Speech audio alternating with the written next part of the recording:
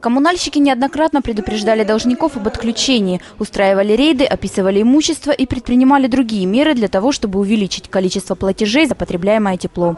Но ВОЗ и ныне там. За один только ноябрь долг населения перед теплосетью увеличился на 11 миллионов гривен. Из-за огромных долгов макиевчан за теплоснабжение к Новому году во многих домах и квартирах может быть так же холодно, как и на улице.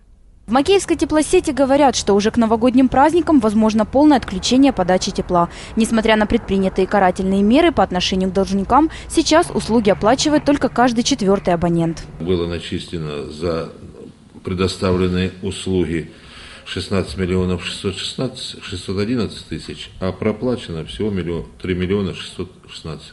На что мы надеемся, не знаю, потому что ну, практически за газ нам платить нечем. И есть большая вероятность, что Новый год мы будем встречать при холодных батареях.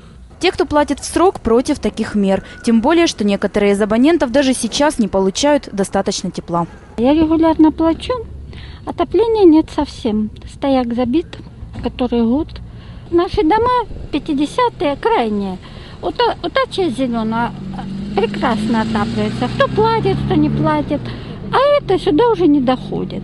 Коммунальщики же объясняют, что насколько теплыми будут батареи в квартирах макиевчан, зависит от них самих, ведь из-за неплатежей теплосети нечем рассчитываться с поставщиками голубого топлива.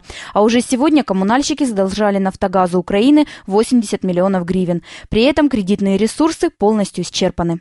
Александра Христенко, Андрей Гаража, Панорама.